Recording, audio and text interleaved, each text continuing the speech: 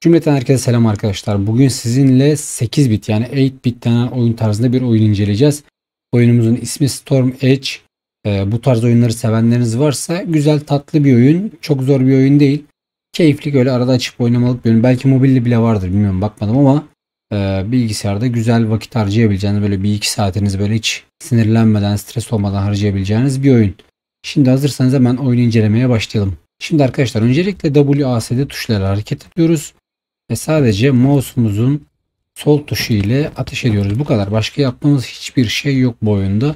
Ee, burası bizim ana şehrimiz. Büyük ihtimalle buralar daha sonra açılacak. Ben de şu an açık değil. Aslında bayağı oynadım ama hala açılmadı. Şurada yukarıda gold'umuz var. Burada elmasımız var. Şurada da bir dua puanı gibi bir şey var. Şurada yukarıda bir portalımız var. Bu portal üzerinden mesela birinci kısım. Aslında ben bu ikinci kısımdaki boss'u öldürdüm. Üçüncü kısmın açılması lazımdı ama açılmadı ilginç bir şekilde. E, ikinci kısma bu şekilde buradan giriş yapıp savaşa başlayacağız. Öncelikle buradan bazı e, ne derler özellik sıralamaları geçiyor. Burada her turdan sonra bunları alabiliyorsunuz ve en son boss'a geliyorsunuz. Yani 1, 2, 3, 4, 5, 6, 7. turda boss'a ulaşmış oluyorsunuz. Mesela buradaki şu çizgiler sizin ilerleme şeklinizi belirliyor. Yani ekstra temel saldırı, ağır saldırı veya bitiriş uzmanlığı veriyor. Ondan sonra şu ekstra altın kasası veriyor, bu beceri veriyor gibi şeyler. Burayı seçmek size kalmış nereden başlayacağınızı. Ben şöyle direkt ortadan bodoslama başlıyorum. Bir yandan oynarken bir yandan da anlatacağım size oyunu. Şimdi bu defterle bize özelliğimizi veriyor, uzmanlığımızı veriyor. Mesela 4 saniye boyunca %65 kritik vuruş ihtimali kazandırır. Küre fazladan iki düşmanı delip geçer. Düşmanları 6 saniye yakar diyor. Mesela ben kritiği alayım diyorum burada. Space tuşumuzla hızlı kayarak, koşarak daha doğrusu uçarak hareket edebiliyoruz. Şu variller patlıyor bu arada. Burada da ekstra bir vuruş gücü kazanıyoruz. Şu sol alt, yani alt tarafta bulunan yanıp sönen ışıklı olan yerleri görüyor musun? Orası bizim vuruşumuzun sayısı. Yani 4 vuruşa geldikten sonra bir e, ulti gibi düşünün bunu. Her 4 vuruşta bir ulti yapıyorsunuz. Fakat bu vuruşların siz sabitken olması gerekiyor. Yani hareket ettiğinizde her seferinde sıfırlanıyor bu. Dolayısıyla e, bazen güçlü e, düşmanlara karşı sabit durup şöyle alevli bir ışık atmamız gerekiyor. Hemen şu kalkan veren ablamızı bir indirelim ki kalkan basmasınlar birbirlerine. Yani gördüğünüz gibi oyun aslında çok basit. 7 tur geçeceğiz ve 7 tur sonra boss'umuza gelmiş olacağız. Böyle ufak ufak bosslar da çıkıyor oyun içinde. Bunları da hızlıca geçip gitmek gerekiyor. Bu, e, bu arada her tur aynı olmuyor. Yani her turda farklı tuzaklar, farklı bosslar oluyor. Düşmanlar da ona göre değişiyor. Şöyle şuraya da hızlıca geçelim. Şimdi bu turu atlatınca evet geçit açıldı. Geçebiliriz. Şimdi Turu bitirdiğimizde bize bu şekilde 3 tane kasa bazen 4 tane kasa veriyor. Tüm düşmanları 40 saniyeden önce bitirseydik bu kasayı açacaktık. 60 saniyeden önce bitirseydik burayı açacaktık ve ekstra gold alacaktık. Ama geçemediğimiz için sadece bu kasayı alabiliriz ve 25 gold aldık bu turdan. Şöyle ufak bir can veriyor burada. Yani bunları almak önemli. E, 60 saniyenin altında ya da 40 saniyenin altında bu turu bitirebiliyorsanız bayağı güzel gold kazanabiliyorsunuz. Kazandığımız goldla bu şekilde uzmanlık e, ya da işte eşya alıp adamı güçlendirebiliyorsunuz. Ben şu an tabi gold'um 25 kaldığı için bunların hiçbirini alamıyorum ama alsaydım iyiydi. Mesela uçuş menzili bayağı güzel oldu kaçarken ya da işte hasar. Bunu alamadığımız için bir sonraki tur otomatikman zaten güçsüz başlayacağız. Bu da bizim için büyük bir dezavantaj. Yani şöyle kaça kaça hızlı şekilde ve mantıklı hamlelerle bitirmek gerekiyor. Mesela şu taşı da hemen açıp şuradaki güçlendirmeyi kullanmamız lazım. Çünkü bu güçlendirmenin yanındayken e, şu alttaki turu bir tane atlayarak geçiyor. Böyle bir avantaj sağlıyor bize. Şu arkadaki büyücü adama kalkan bastığı için adamı öldür. Aa öldüm. Hiç can barıma bakmıyordum öldüm. Yani bu şekilde öldük ve tur bitti arkadaşlar. Tekrardan yine gidebiliyorsunuz oraya. Şimdi diyeceksiniz ki bu turu kazandım. Benim ne kazancım oldu bundan?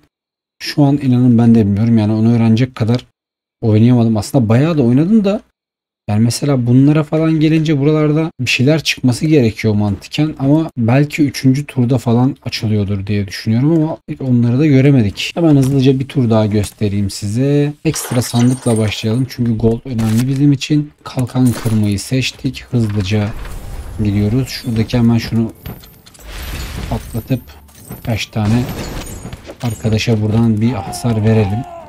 Böyle hızlı Allah bıçağı yedik oradan.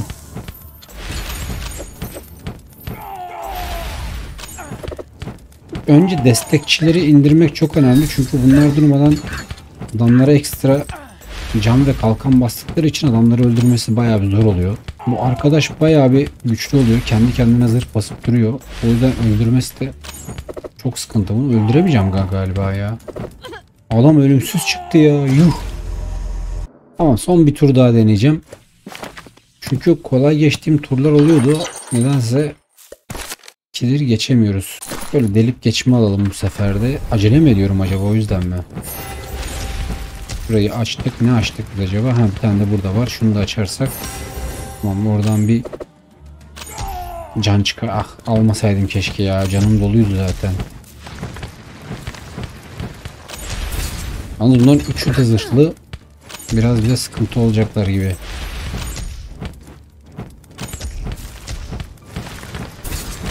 Şu bıçak sallayan eleman bayağı bir çıkarabiliyor. Canımız biraz azaldı ama sıkıntı yok.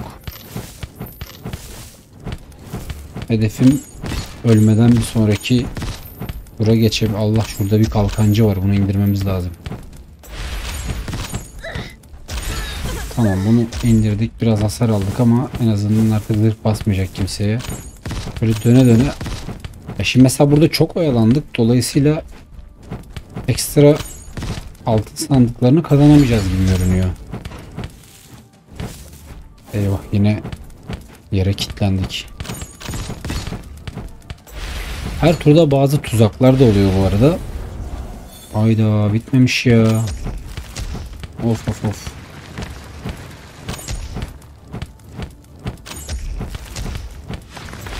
Bunlara ulti vurmadan bunların zırhını düşüremiyoruz.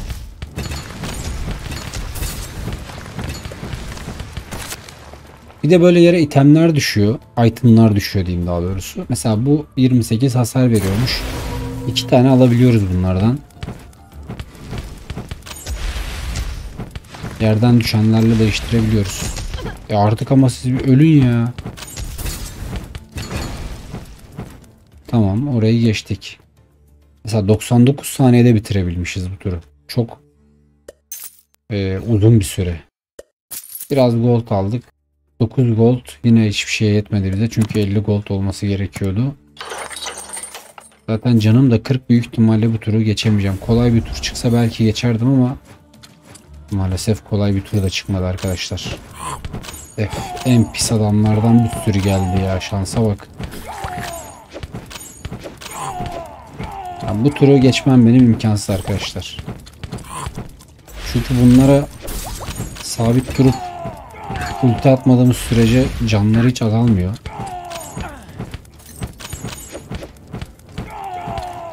O yüzden öldürmesi de bayağı bir zor oluyor.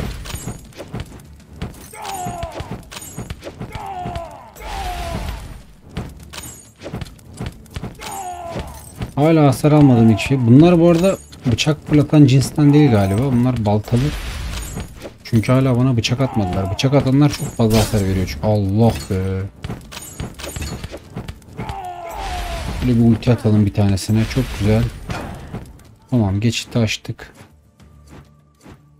Böyle hızlı hızlı var mı burada kullanabileceğimiz bir şey? Hiçbir şey yok. Yine direkt dövüşeceğiz. Önce şu zırh kasanları indirmem lazım.